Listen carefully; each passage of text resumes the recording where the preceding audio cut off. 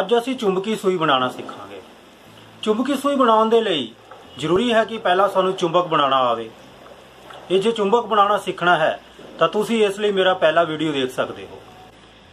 ਚੁੰਬਕੀ ਸੂਈ ਬਣਾਉਣ ਦੇ ਲਈ ਤੁਸੀਂ ਮੇਰੇ ਕੋਲ ਥੋੜੀਆਂ ਜੀਆਂ ਕਿੱਲਾਂ ਦੇਖ ਰਹੇ ਹੋਗੇ ਇਹ ਥੋੜੀਆਂ ਜੀਆਂ ਪਿੰਨਾਂ ਹਨ ਅਤੇ ਨਾਲ ਹੀ ਥਰਮੋਕੋਲ ਦੀਆਂ ਬਾਲਸ। ਇਹ ਥਰਮੋਕੋਲ ਦੀਆਂ ਬਾਲਸ ਬਾਜ਼ਾਰ ਤੋਂ ਮਿਲ ਜਾਂਦੀਆਂ ਹਨ। ਇਸ ਤੋਂ ਇਲਾਵਾ ਸਾਨੂੰ ਜ਼ਰੂਰਤ ਪੈਂਦੀ ਹੈ ਇੱਕ ਚੁੰਬਕ ਦੀ। ਚੁੰਬਕ ਬਣਾਉਂਦੇ ਸਮੇਂ ਇਹ ਗੱਲ ਧਿਆਨ ਰੱਖਣ ਵਾਲੀ ਹੈ ਕਿ ਜਿੰਨਾ ਇਹ ਚੁੰਬਕ ਤਾਕਤਵਰ ਹੋਵੇਗਾ, ਅਸੀਂ ਜਿਸ ਕਿਲ ਨੂੰ ਚੁੰਬਕ ਬਣਾਉਣਾ ਹੈ, ਉਹ ਮੋਟੀ ਵਰਤੀ ਜਾ ਸਕਦੀ ਹੈ। ਪਰ ਜੇ ਚੁੰਬਕ ਬਹੁਤ ਤਾਕਤਵਰ ਨਾ ਹੋਵੇ, ਤਾਂ ਸਾਨੂੰ ਬਹੁਤ ਬਰੀਕ ਕਿਲ ਜਾਂ ਪਿੰਨ ਦੀ ਵਰਤੋਂ ਕਰਨੀ ਪੈਂਦੀ ਹੈ।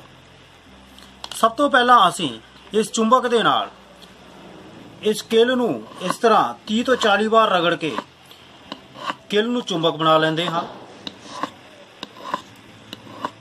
ਜਦੋਂ ਇਹ ਕਿਲ ਚੁੰਬਕ ਬਣ ਜਾਂਦੀ ਹੈ, ਤਾਂ ਇਸ ਕਿਲ ਨੂੰ ਇਸ ਥਰਮੋਕੋਲ ਦੀ ਬਾਲ ਦੇ ਵਿੱਚੋਂ ਇਸ ਤਰ੍ਹਾਂ ਲੰਘਾ ਲੈਂਦੇ ਹਾਂ। ਤੇ ਇਸ ਤਰ੍ਹਾਂ ਸਾਡੀ ਇਹ ਚੁੰਬਕੀ ਸੂਈ ਤਿਆਰ ਹੋ ਜਾਂਦੀ ਹੈ। ਮੈਂ ਇਹ ਥੋੜੀਆਂ ਜਿਹੀਆਂ ਚੁੰਬਕੀ ਸੂਈਆਂ ਤਿਆਰ ਕੀਤੀਆਂ ਹਨ।